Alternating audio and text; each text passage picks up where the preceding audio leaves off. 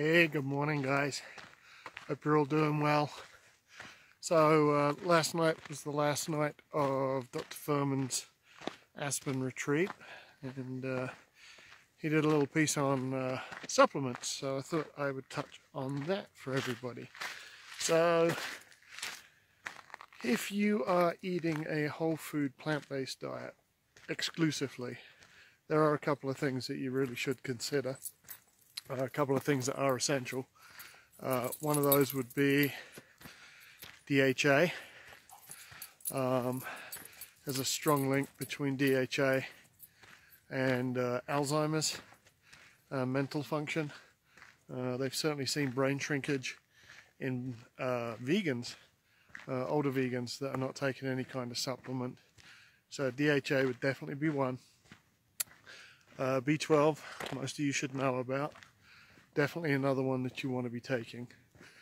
Um, very, very important for your uh, nervous system. Uh, another one is vitamin D, and as you can see, I'm out in this uh, beautiful sunshine, which is definitely one way to get it. Uh, if you do supplement, make sure you take a quality supplement and probably one to 2,000 international units a day would be sufficient. Um, for very fair-skinned people, if you want to do it with sunshine, uh, shorts and a t-shirt, probably 15 minutes is uh, suffice. Um, the darker your skin, the more covered up, the more exposure you need, of course. Um, vitamin K is another one to consider.